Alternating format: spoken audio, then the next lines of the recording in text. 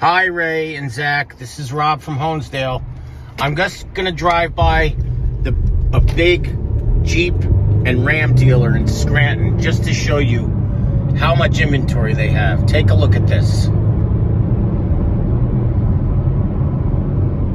I mean, look at this, Pops. We've been covering the market for literally years, and we have not seen dealer lots this full since, I don't know, pre pandemic. Like, it is, this clip is going to go on longer than most people realize. There are trucks upon trucks upon trucks. This this this reminds me of the movie Used Cars when Kurt Russell advertised that we've got miles and miles of used cars. Well, obviously, this CDJR dealer, if they were to advertise we got miles and miles of new vehicles, they wouldn't be kidding. Look at all that.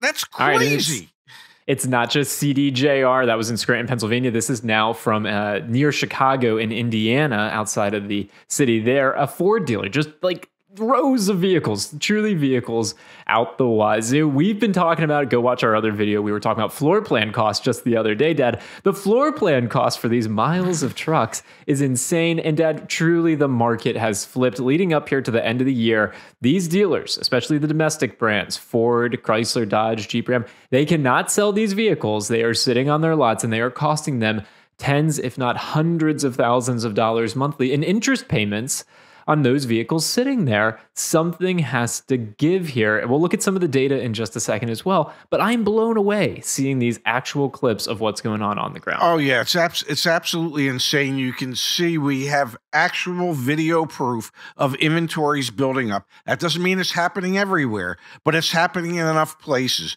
And and the one thing that has to give, there's only one way dealers know how to get rid of inventory when it builds up and that's by lowering the prices. That's it. They, they, I mean, they have no other they have no other avenues to to uh, pursue. So you just keep lowering the damn prices until somebody says yes, and that's ultimately what's going to happen.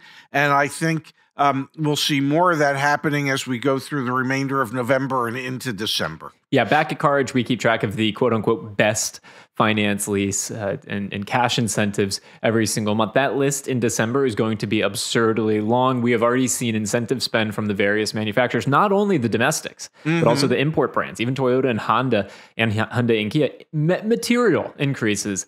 Uh, in their incentive spend. Now, Dad, let's look yes. at some of the numbers here. So, for that dealership, in Scranton, Pennsylvania. That was the miles upon miles yes. of Ram pickup trucks and Jeep uh, uh, Jeep vehicles. I found one of those vehicles at that dealership that only 15 days on the market. So this yes. is a brand new 2024 Jeep Grand Cherokee Summit Reserve 4xE four-wheel drive, your classic $86,000 selling price Jeep Grand Cherokee. Go for it. Well, I mean, who wouldn't want to spend $86,000 on a, uh, a, Jeep Grand Cherokee Summit Reserve um, 4xE? Um,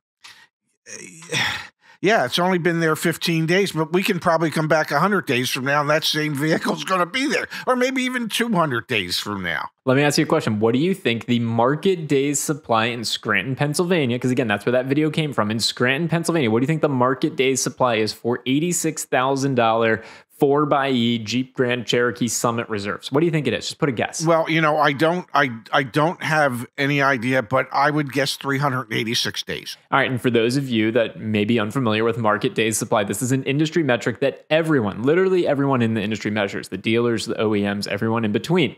Market day supply is how many days it would take to sell all available inventory based on current sales rates. Yes. Dad, there's a 731 days supply of the 2024 Jeep Grand Cherokee Summit Reserve 4xE four wheel drive. 65 of them are for sale within 500 miles of Scranton, Pennsylvania. And the reason we had to go out to 500 miles, Dad, is because you go within 100 miles, there's not enough of them. There have only been four sales within 500 miles of this one in the last 45 days. Your daily selling rate based on and then you know uh, uh, juxtaposed with how many are for sale leads you to a 731 day supply so, of these vehicles. so no if, wonder. Yeah if, if all these dealers in that 500 mile radius didn't get another one of these vehicles in it would take them 731 days to exhaust the supply that they have. And the supply they that they have is only 65 vehicles okay there's there's no market for these vehicles. There's no market for for $86,000 Jeeps. Now, what do you do if that is your market? Well, I, I, guess what you do is you lower the damn price. That that eighty-six thousand dollar uh, Jeep, I guess, with incentives and with government incentives, you know, my guess is that you should probably be looking at somewhere between 20 and 25% off when you utilize all of the incentives. And that might get somebody interested. Might. Capital M on that yes. might. It still might sit there. And that'll continue to force the hand of both the dealer and the OEM to move that piece of metal. And to your point earlier, the only way to do that is by lowering the price. Now, Dad, we've got a 2024 Ram 1500 pickup, the Bighorn Lone Star Edition. Dad, this is only a 56 ish thousand dollar vehicle, called $60,000 vehicle. Been on the market for 66 days. Scranton, PA, same dealer. What do you think the market days supply for one of the most popular full size pickup trucks in the United States of America is right now? Healthy days supply, folks for context, 60 to 120 days. That's that's like a, a good range. I'm I'm going to stick with my 386 days. All right, so here's a little bit of uh, a breath of fresh air. Only a 273 day supply. yes. Of the 2024 Ram 1500, 648 of them for sale within 100 miles now. Now we don't have to go out as, as far to get something statistically significant. Within 100 miles of this dealership, 648 for sale. Yet only 40, excuse me, 107 have sold in the past 45 days. They are not moving quickly. That is for sure. You know what would be interesting and and and I know you don't have it maybe you do have it set up. I don't know. But if if you had done the same thing for this dealership with their brand new 2023 inventory and perhaps even some brand new 2022s that they might be sitting on. Just just a wild ass guess here that I bet you they got plenty of both. All right, so you're thinking maybe the 2023s have an even greater days supply. We found one same trim, the Bighorn Lone Star. Let's take a quick oh, peek. Wait, wait, Only a scroll, 92. Scroll back up for one second. That truck's been on their lot for 305 days. 305 let 305 days. Okay? That's 10 months it's been there the days supply for the 23s is only 92, Dad. So it seems like they're moving more quickly, probably bigger incentives trying to get them off their lots. And I bet you there are less actually being listed as new now because obviously the model year turnover, no matter how you slice it, not great, uh, not great data from uh, the Scranton, PA area. No. The other video, Dad, the Ford video came from a county outside of uh, about a, a, suburb outside of the uh, uh, city of Chicago, okay. but in Indiana. Yeah, we've got a 2023 Ford F-150 XLT 259 days on this dealer's lot. You got a sense of what the days supply of this is looking like outside of Chicago? Um, I'm, I'm sticking with 386 days. I, I think I, apparently it's not a magic number. 189 days. So there you go. The Ford F 150 starting to move a little bit, maybe. Still, 189 days is way too high. It's why we're seeing the video clips that we're seeing. The total for sale 1,387. The total that have sold in the last 45 days only 330 one. You know, and over the past three years, what manufacturers have learned is that the optimum day supply that they would like their dealers to have is 45 to 60 days.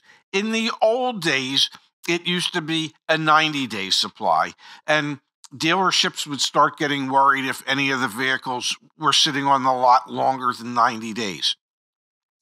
They're sitting on 189 day supply. So legitimately, that is after what we've learned post COVID, that is three times the normal day supply that that the manufacturers and the dealers have determined would be optimal. Three times. So it it just shows that inventories are building up. The public is not as enthralled and as enticed as they had been in the past to buy 50, 60, 70, 80, 90,000 dollar pickup trucks. And at this point, they'd rather see them parked at their dealer's lot than in their own driveways. And again, go watch our floor plan video to understand why the dealers have a motivating force to actually move on from this inventory. All right, a quick call to action to the community. if you can pull out your phone when you're driving down dealership row, please take videos. If there is inventory, isn't inventory, caredge.com slash community. Come share that video back with the community. We'll likely use it in a follow-up video and of course give you credit where credit is due. We are looking for as many insights as we can possibly get heading into the year end so that we can help people make informed decisions to negotiate really good deals at the end of 2023. Inventory is building up, the market has flipped. Send that information to us so that we can document it and share it with the rest of the world. And hopefully, help some of these dealers move some of these cars at ideally, Dad, well below invoice price because well, it's sitting on their lots. We we we can make it mutually beneficial for the customer and the dealer.